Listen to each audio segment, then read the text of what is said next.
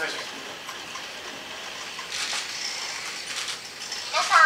こんにちはこんにちは東京持続保護ヒューマノイドロボットですでは僕の能力を紹介しますまず僕自身がロボット教育の教材になりますこんな感じですが実は僕は最新テクノロジーの塊なんですよ。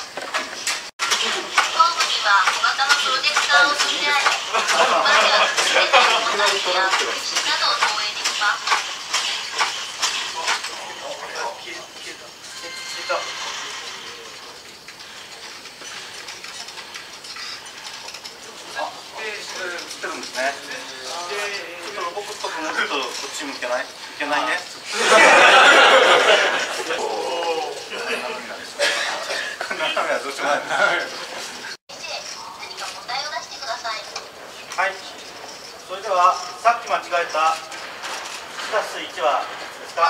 早いですね。間違える時が早いですね。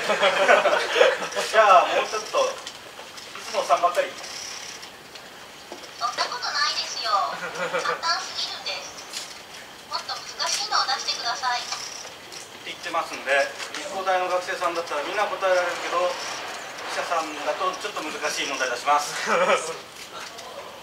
はいじゃあサイン60度は？2分のルート3あ今度合ってますね。で ニコ大の学生さん分かって記者さんもよく分かってる。答えですね。